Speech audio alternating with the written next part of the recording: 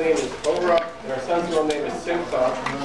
And together, the twins represent Ora, the Simcha light and joy, the twin themes of the Torah miracle. Members of the family will also notice that in English their names are Abigail and Judah, which means they have the initials A and J.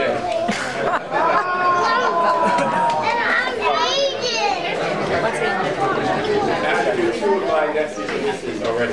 Uh, but I'd like to focus the remainder of my remarks And to introduce my remarks, I'd like to uh, tell a story from the shtetl uh, in Europe. Certain community had a custom of having everyone come up uh, before the Har Kodesh and the Imam to uh, and say what's on their heart. And the rabbi got up and he said, vey, have pity on my soul, God. Who am I? I am nothing. I am absolutely nothing. The president of the shul gets up next. And he says, hey, it's good for the rabbi, it's good for me. Oh, oh God, please have mercy on my soul. I have nothing. I have absolutely nothing. And then, as the congregation filters forward, the lowly shamish, the wood carrier, he comes in and he says, as well, have mercy on me, I'm absolutely nothing. And the president turns to his neighbor and says, hey, look who's calling himself nothing. Uh, about two and a half years ago, trend began to develop among alumni of Yeshivat Har Etzion in Israel to name their sons after the Rosh Yeshiva Rav Yehuda Amital, who passed away in July 2010 after a distinguished career education and service to the state of Israel. Now, those of you who have known me for some time may be surprised that of all my teachers, I've chosen to memorialize this one in particular. It would be one thing if I sat in his classes for many years, or if I were an educator or a political leader who acted out his teachings on a regular basis, or if I were a descendant of Holocaust survivors who would draw inspiration from his indomitable faith. But I'm really none of those things. Just a simple man who learned in his yeshiva for a couple of years, and then came back to the United States. Sure, surely somewhere out there, someone is working behind my back, and look who's calling himself nothing. And yet the Gemara Avodah Zarah states, Rabbah said, a man cannot fully grasp the depth of his teacher's knowledge until he turns 40 years old.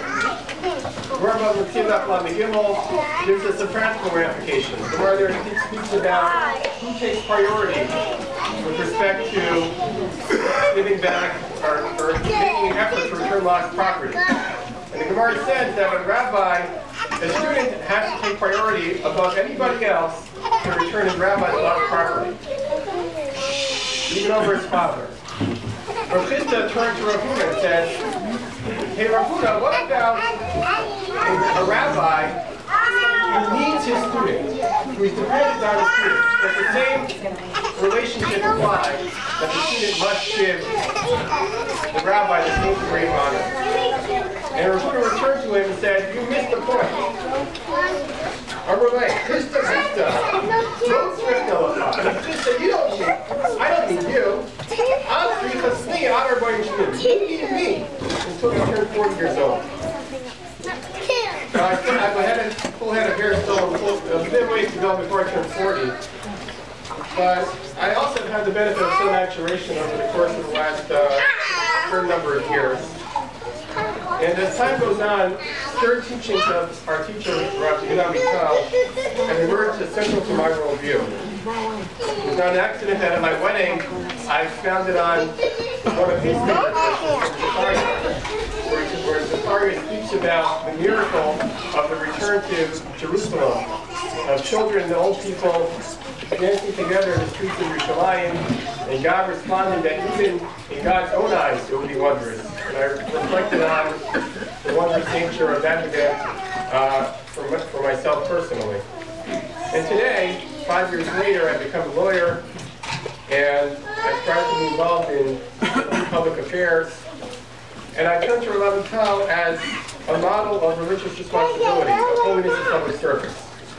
For those of you who have not heard of him until today, a bit of biography.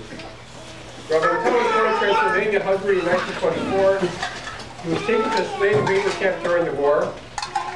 He narrowly escaped being sent to a death camp on a number of occasions. His entire family, many friends, his primary teacher murdered at the Mount Shimon. In Aliyah 1945, studying Shabbat Gadron, fought in the Haganah during the War of Independence. Sometime later, he developed the theological and uh, practical grounding for the Hesder system in which uh, students combine Torah study Army service. In 1968, he founded Yeshivat Har Etzion, just a few months after the Six-Day War. He served as Rosh Yeshiva for 40 years. He also served as the minister in the Israeli cabinet following the Rabin assassination in 1995, charged with attempting to bridge the gap between the religious and the secular Jews. A famous story that Rabbi Tal likes to tell.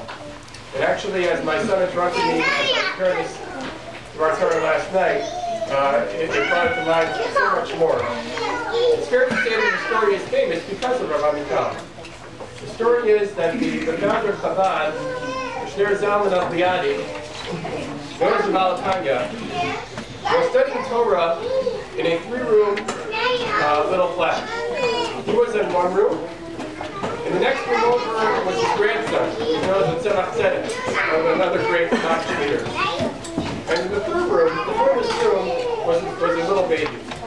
At some point, the Baal HaTanya heard the baby crying.